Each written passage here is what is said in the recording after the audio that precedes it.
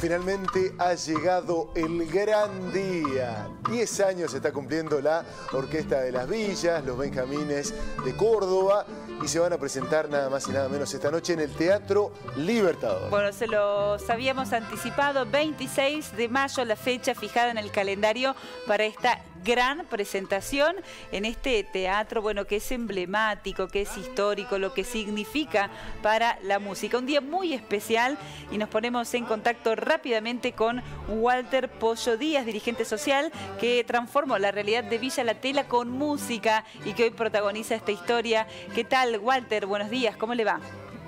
Hola, ¿qué tal, chicos? Buenos días para, para usted y toda la gente de Río Cuarto, querido. Bueno, llegó el gran día, Pollo. Tanto has soñado con esto desde aquella primera jornada en la que llegaste a Villa La Tela, en Córdoba, y te encontraste con una realidad muy dura.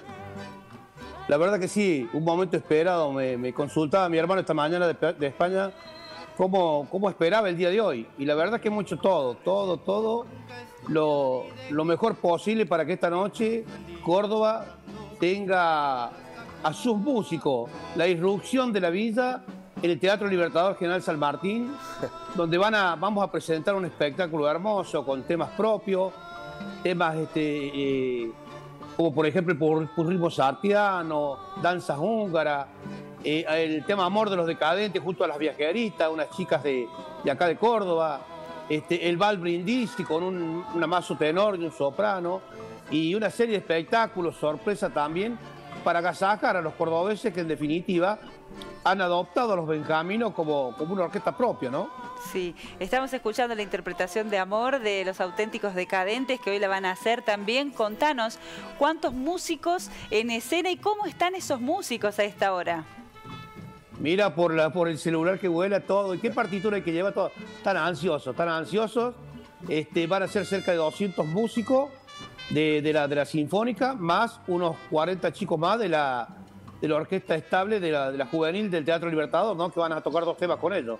La idea es compartir también, siempre es el mensaje es ese, ¿no? Compartir con, el, con la gente este, y con los chicos de, otros sectores la música, ¿no? El empoderamiento de la música. Bueno, cumplen 10 años, eh, un trabajo muy fuerte, muy intenso. Eh, contanos un poquito de ese recorrido para aquellos que todavía no conocen lo maravilloso de lo que implica la orquesta Los Benjaminos. Pero recordamos que este, este proyecto nace por allá por el 2007-2009, donde a través de una encuesta contestan dos chicos de Villa La Tela que les gustaría hacer música. A partir de ahí, con mi hija Dayana, hacemos el primer proyecto que es la Escuela de Violines. Y de ahí deambulamos por todos lados hasta el 2013, que gracias a la colaboración de un vecino pudimos empezar con la, con la orquesta de violines. Este, no fue un comienzo fácil porque todo el mundo nos decía no va a andar, no sirve, los papás nos decían estos son unos brutos que van a aprender. Pero el tiempo nos dio la razón y a los seis meses estábamos tocando el primer concierto en la Basílica de la Merced para el Lagarto Show. A partir de ahí, de ese año 2013, el 2014 ya, ya se transforma en orquesta de cuerda, donde no solamente teníamos violín, viola, cello, mandolina, este, y seguimos, seguimos, veíamos que la, música era la mojarrita para pescar la problemática de los niños de los sectores vulnerables de Córdoba, entonces empezamos a exigir el secundario porque no lo hacían. Y se termina transformando el secundario como la universidad para un pibe de la villa. Pero no nos quedamos ahí. Benjamín hoy tiene chicos en la universidad. Está Paloma en segundo año de profesor de música, Agustina. Está NASA en, otra facultad. Hay muchos. O sea que el empoderamiento de la música ha hecho que esto, que pretendemos desde Benjamín, ¿no? que los chicos no sean indigentes de la cabeza y que se activan a pensar en un futuro y a transformar la realidad suya y a su vez a la de su barrio, ¿no? Donde les ha tocado nacer, porque les tocó por esta, pero, pero bueno, ese, ese es lo que tiene Benjamín, como dice nuestro lema, un niño que toca un instrumento difícilmente toca un arma. Sí, y, cuando me imagino cuando lo propusieron en ese momento, cuando llevaron la propuesta, eh, qué difícil pensar en la conexión entre los niños y los instrumentos de cámara, una orquesta, y les gusta, les gusta mucho. Y no te imaginas la polarización entre ellos, porque hay que reconocerlo, ¿viste? Hay muchas diferencias por cuadra o por vecino, y las había de hecho en Villa La Tela. A partir de la introducción de la música, se fueron limando a pereza porque ya las familias dejaron de pelear porque sus hijos convivían este, bajo una misma orquesta. Entonces, los chicos se dejan de lado los problemas eh, que hay de los grandes. Y eso unió mucho a Villa La Tela.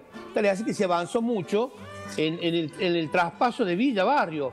Hoy Villa La Tela tiene cloaca, tiene asfalto, tiene vía blanca, tiene su dispensario. Entonces ha sido una transformación. Yo creo que Bencamino en ese sector y las otras ocho escuelitas ha sido un hecho disruptivo para Córdoba.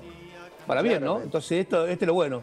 Claramente, y un dato que me parece termina de enmarcar todo esto, porque vos siempre usás el concepto de que, eh, digamos, que mentalmente se asuman como que pueden hacer las cosas, y hoy hay ejemplos, porque hay chicos que han pasado por ahí, que han crecido allí, y que hoy están estudiando en el terciario. Y con todo lo que significa lo lejos que queda la universidad para los chicos, porque no es el tema de la distancia del tiempo, sino la distancia social, porque ellos también se alejan de eso. Y esto al, empoderarlos este, este, tanto, ellos van y se sientan como uno mismo, ¿viste? Como, como cualquier otro chico. Pero antes les costaba asumir que llegar de Villa La Tela a una universidad iba a, ser, iba a ser una vergüenza. Y hoy día es un honor ser de Villa La Tela y poder ir a... Digo, nombro Villa La Tela por nombrar donde nacimos, pero son chicos de 25 villas de Córdoba, ¿no? Claro. Bueno, ¿y cómo, cómo es el día de hoy? Eh, contanos un poquito cómo es la agenda, qué hora eh, marchan hacia el teatro, tendrán un ensayo previo, una prueba de sonido. ¿Cómo viene este viernes para ustedes? Y este viernes arrancamos a las 5 de la tarde, desde las 8 de escuelita, para llegar a las 6 de la tarde tranquilos al teatro. Entramos este, en la sala, en la sala este, el teatrino del Teatro Libertador Ahí va a ser el, centro donde vamos a afinar todo. Subimos al escenario a hacer prueba de sonido, pantalla, porque hay algunos videos memorables. Y este, hasta las 8 de la noche. Después se cierra la, parte del teatro y se vuelve a abrir a las 9. En ese interín, de las 7, de, las 8 y de las 9, van a tener los chicos un ágape. Vamos a hacer un, trabajo de, de yoga, de relax para que se relajen los 200 y entre con toda la polenta a brindar y no tengan problema con el pánico escénico, porque la verdad que eh, tengo que contarles que hay entradas agotadas. Salieron las entradas el día miércoles y se agotaron las 1.177 entradas en cuatro horas. Qué bueno. Recordemos que son entradas gratis, entonces es, un marco imponente, las luces, todo, pero bueno, yo creo, como dicen ellos, la villa puede, o sea que, van a estar a la altura de las circunstancias y van a poder apreciar este, porque más allá de esto, yo creo que la gente necesita ejemplos y necesita ver, no hablar tanto y ver.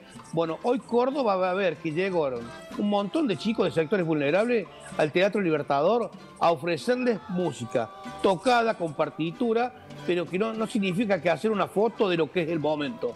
No, este es un trabajo de 10 años y vamos a estar presentando temas de cada uno de los años, este, los más populares en los últimos 10 años, digamos, para, para, para ser más concreto. Pero, este, este, es lo que se van a encontrar los vecinos, ¿no? Con la conducción de Rebeca Bortoleto, una amiga que gratis va, ya hace un año que me prometió que iba a estar, hoy va a estar, va a estar el padre Mariano Oberli dando la bendición y bueno, esto es una fiesta de cumpleaños como se merecen los encaminos y como se merece Córdoba también, ¿no?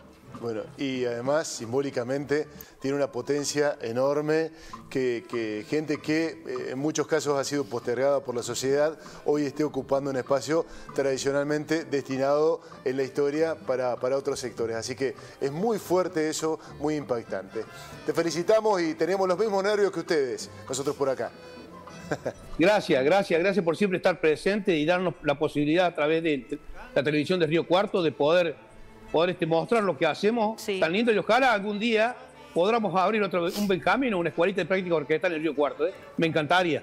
Ojalá. bueno, eh, que les vaya hermoso esta noche y el lunes vamos a estar mostrando lo que ha sido la presentación. ¿eh? Vamos a estar con esas imágenes también acá en el noticiero. Gracias, gracias. ¿eh? Buen viernes y, gracias. Entre nosotros, Pollo, ¿corbata esta noche o no? Smoking. ¿Cómo va? Sí, de smoking. Muy, muy no, bien. no, no, no. Lo vengo soñando este momento hace rato, así que no me privo de nada. Ay, qué bueno. Muy bien, los felicito. Abrazo enorme. Abrazo para ustedes, los quiero mucho. Saludos a todos Río Cuarto. Un fuerte abrazo. Abrazo, abrazo.